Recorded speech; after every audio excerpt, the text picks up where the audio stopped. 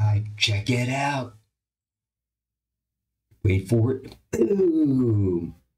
I got the answer to the problem the other day. It uh, on one of my videos. Uh, I explained that I, you know, will GStreamer work with the Raspberry Pi AI camera, which is running on a uh, serial interface, CSI, a camera serial interface. And yes, it will work. And yes, you can get a video stream through it um, by using a GStreamer pipeline. And I'm going to show you how you do that. So let's go. So here's what I'm doing. So on the very first line, I'm using shebang user bin env Python 3. Line 3, I import the sys for Python. And I'm in, importing the time module. I import CV2 and I'm in, importing G for the GStreamer. So one thing you need to do is definitely follow along with what I'm telling you. Um, if you don't, it won't work. So you have to take the um, each one of the uh, objects, the glib, the G, uh, G object, and the GST, you have to require the versions first. So just uh, stop the video, take a look at that, and put those in as is. And then down here, after you require the version, then what you do is you bring those in. So you import those from the repository. So you're importing GST and the G object and the glib. Now we have to initialize the uh, uh, GST, GStreamer. So we need to do that.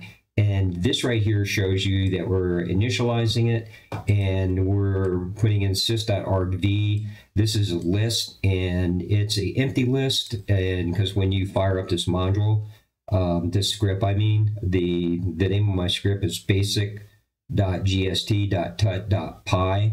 And if I were to put a zero like here on this line here, go ahead and try it yourself. I'm not going to do it here right now. But um, go ahead and copy this line. If you want to um, comment that out, just put a, a hash sign right there and it won't print out. But I'm going to go ahead and print that out for you when I get this thing going. And then um, I'm also printing out the G Stringer G G G G Streamer version. And uh, excuse me, my mouth is dry here. Hold on. So I'm printing out the version of the GStreamer and then down here.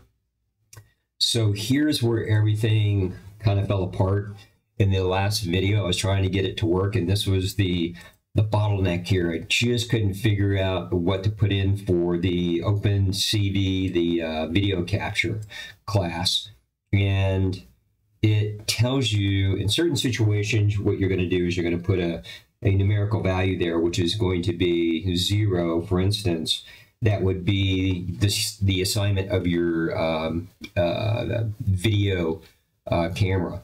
But you don't do that. This is asking you for a string and a string only.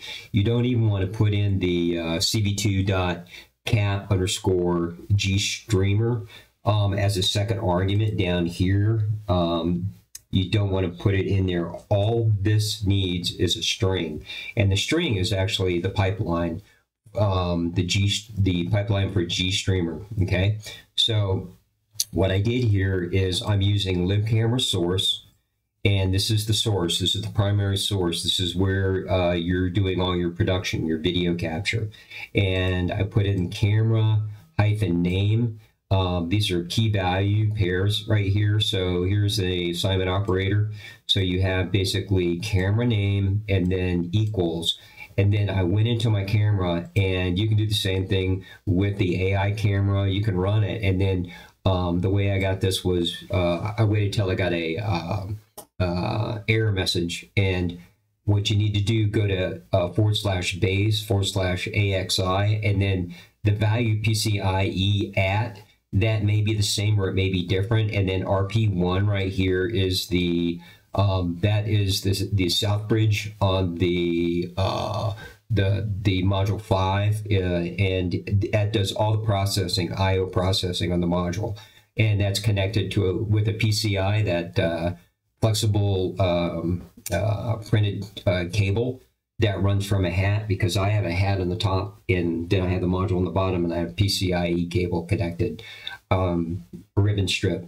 And then right here, that might be a little different. So what I'm trying to tell you is actually go in there and get this value and put this value in here, okay? So you're going to need that. And as you can see right here, um, this is a concatenation for Python. So I put a plus there because this string would have been, you know, like way over to the right. So you do not, if you're going to write this all out, just remove the plus and then remove this, this right here, the double quotes. But in order to make this a multi-line, I needed to actually put a quote mark here, and then I had to put the concatenation plus mark here. If you're writing this all out in one single line, just go ahead and remove the, the quote and the plus sign on each one of these lines right here until you get down to the very bottom line right there, and that you want a um, you want to open uh, bracket and then you want a closing bracket right there. Okay. So parentheses or yeah, bracket, um, curve bracket. And so that's the camera name. And then down here, you want to use the exclamation mark. Okay. So in GStreamer, you're using these things called elements. Okay. And each element um, has a source and it has a sink. And on, so when you're using the source, which is the camera itself in the beginning, that's the very first one. This is a source, and all it has is a source. There's no sink on it. And this is your, your producer, your output. And it's going downstream, and it's going to end up all the way down here to your sink. And you have one sink in a pipeline. And that's the end. That's where you want everything to go. So I'm using appsink, as you can see right there. Okay. So in here, I use the video convert and then exclamation and then a queue right here and then an exclamation. And then this is very important. Use video forward slash X and then hyphen or uh, uh, yeah, hyphen and then raw. Okay. Um, can't use V4L2. You can't use H264.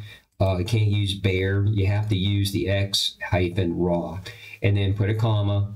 And you'll notice that right here, here's a hyphen between these two, ele this element, the queue element. And so now what I'm doing is I'm putting in this element here, and then I'm putting in some properties of this element, which is um, right here, which is the video X raw. So you want to put a comma there, and don't forget the commas, and then pixel aspect ratio equals fraction and then one divided by one. Usually square frame and the pixel um, is is an even number and I found out that it does work. You can change this and you'll get some funky output, but I went ahead and put that in to have control. And then down here, the format is YUY2. Um, you can try using um, RGB in there. It may or may not work. And then here I just put width equals 640 comma height equals 640 comma.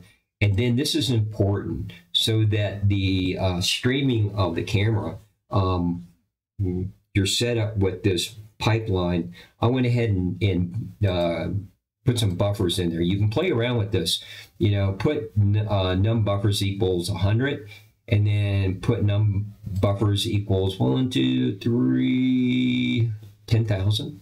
Let's see that would be one, two, three, and then one, two, three. So 10,000. So one and then one, two, three, four, five, six, seven. It doesn't matter. You can put a lot of zeros in there, but it really works well when I put one and the seven zeros. And then down here, I put the frame rate. Frame rate, you're going to want to use a fraction. So frame rate equals 30 divided by 1. And then slow things down. I put a queue there again, an element. And then here is the video convert um, element. And these are plugins, this right here, the video convert. And then finally the appsink, okay? And then make sure you close it off uh, again.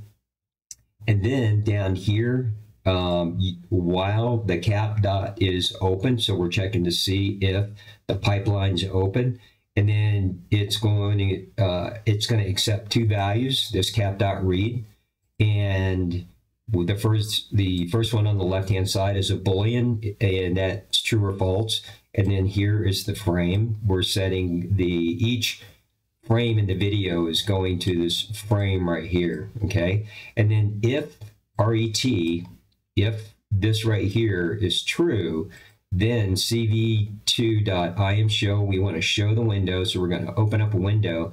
And then what we're going to do is we're going to pipe in the frame, okay, which is this up here, this frame here. And then later on, if the cv2.waitKey, and this is 25 milliseconds, and then uh, this is, if it's a ordinal, this is an ordinal here, it's a hexa, uh, ordinal value for Q and you need to put ORD right there in front of this. And then, um, so if I push the Q um, key on the keyboard, it's going to stop. And then um, it's going to break if I do. And then otherwise, it, it's going to break. And then you want to close everything off down here. You want to close off your cap. So you want a pipeline, you want that closed. And then you want to destroy all the windows here. Okay, so there it is. Here's the magic right here. And then if I go up here and just make sure that everything is saved, and boom, that was fast. That was really fast. So there you have it. I'm not going to spend any more time. Um, I'm reading the documentation over at the website on GStreamer. I've got a lot of really interesting um, ways to simplify the way that they teach the pipeline. Um, and uh, so um, I'm understanding a lot more, and uh, hope you uh, understand this. And if you have any questions or comments, uh, please get them to me. And uh, if you got any value, please like, help the channel here. Okay. All right, man. See you next time.